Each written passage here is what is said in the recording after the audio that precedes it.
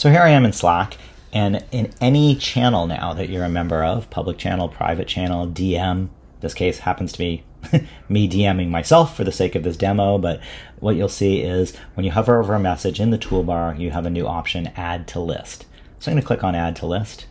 It's going to ask me which list I want to add to. For this sake, let's do the demo one. I'm going to say, and it, notice it says this list doesn't have a message field. This is important. Continuing will automatically create one. So that's kind of the key. So I'm going to say add, and it is going to create this new task right here. I can go up, I can change the title and say, you know, generate new project images. I can give it a status. Let's say it's in progress, it's super important, and, you know,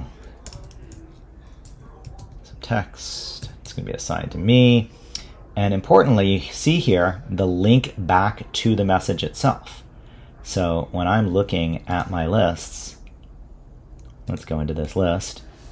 You can see here some of the items and the new one generate new product images. You can drag and drop it between statuses, etc. So I can come over here. But if I open this up, this is the link directly back to that direct message. So I can click on it. It's going to take me right back to that direct message, exactly in the context of where the message was happening inside the channel or the direct message.